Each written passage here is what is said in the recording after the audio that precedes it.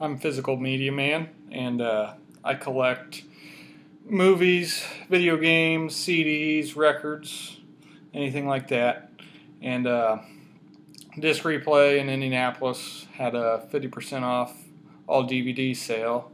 So I went uh, last Saturday and Sunday both. Um, so this is my haul from Saturday.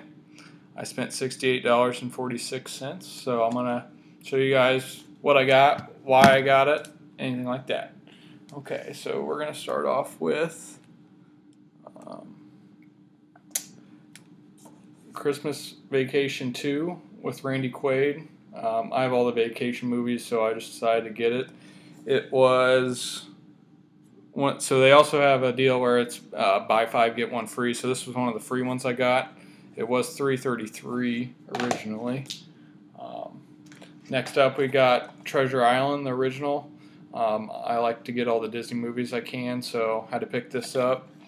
Um, let's see how much it was here. It was 250, so that was a good deal. I'm also a wrestling fan, and uh, I had to get this Goldberg release. This just came out, I think, last year. Um, and that was also one of the free ones I got, and it was originally $5.99, so that was a good pickup. Um, I got Walking, Making the Grade, sorry, um, with Judd Nelson. I just got it just because Judd Nelson was in it. Um, let's see what I got. That was $1.67. Uh, this one I was really excited about. Mel Gibson in the Man Without a Face. Um, it's really hard to find, um, and it was $9.99, so I got it for five bucks.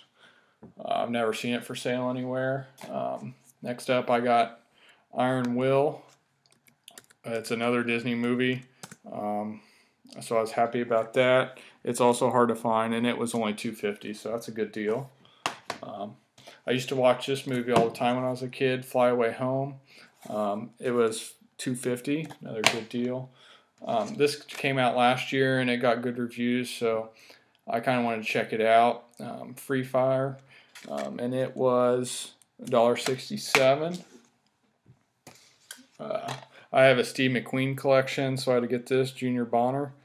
Um, don't know if I'm pronouncing that correctly, but it was 250, so that's a good deal. Um, another WWE release. This is the Attitude Era Volume 2, um, and it was $3. Uh, this also came out last year, the DDP release. Um, let's see. I think I only paid, yeah, I paid $5 for it, so I was happy about that. I'm excited to watch this one. Um, I'm a Bret Hart fan too, so I got this Bret Hart release. Um, it was only $2. And some of this they messed up on the pricing, so I got even better deal. Um, here's a Batista release. Let's see here. It was only two dollars. Um, this one was hard to buy, but I have a Kevin Spacey collection, so I picked up Nine Lives. Um, it was one of the free ones I got too, so that wasn't too bad. I used to watch this show all the time when I was younger, Lois and Clark. Um, so I was excited to pick up the first season of that, and see here. It was only three dollars, so I thought that was a really good good deal. Next time I need to put them in order of where they are on this receipt here. Um, I am a big music fan, so I wanted to grow my uh, music DVD collection a little bit. So I picked up this Led Zeppelin release. Um, that was only 350.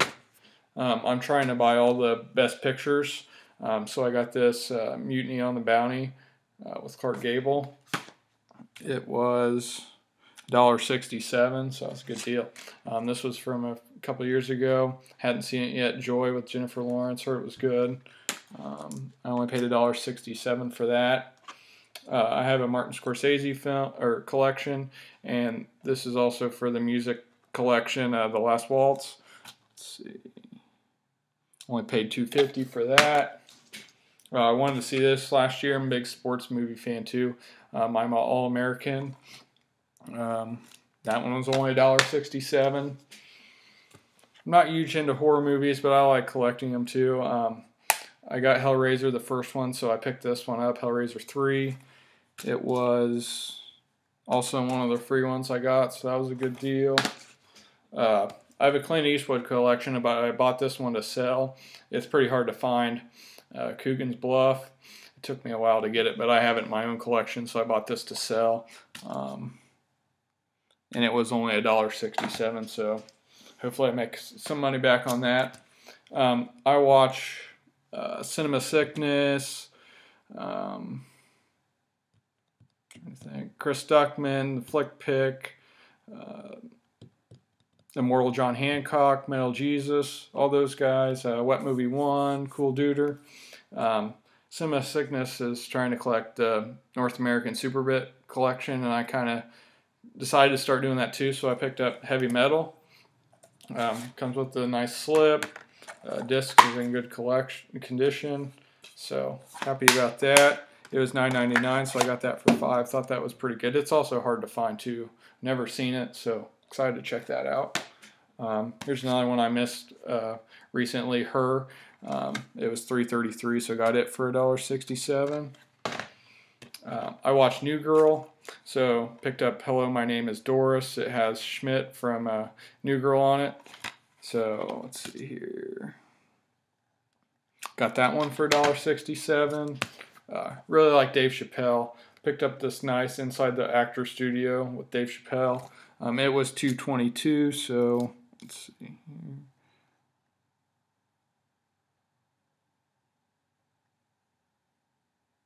Got that for $1.11. Uh, heard this was good. Decided to check it out. The Flamingo Kid with Matt Dillon.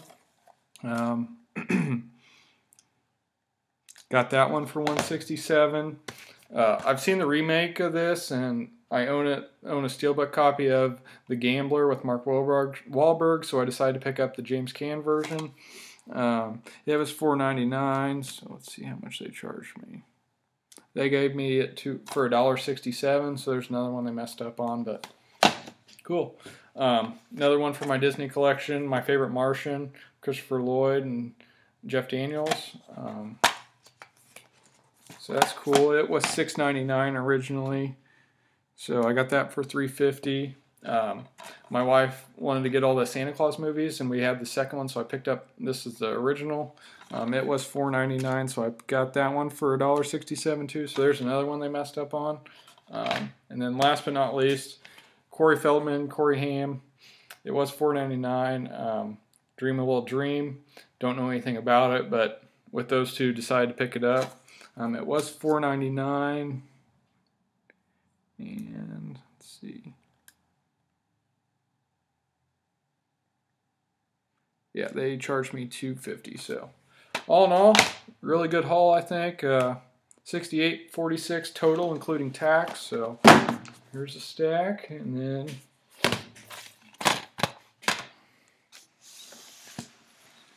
here's the rest. Um, I'm going to do a separate video for Sunday. I spent around the same, but this is my first video, so I had some mess ups in there. So we'll try to make this second one better. But yeah, I just love collecting. Decided to um, start making videos. So this is Physical Media Man signing off. Physical media will never die.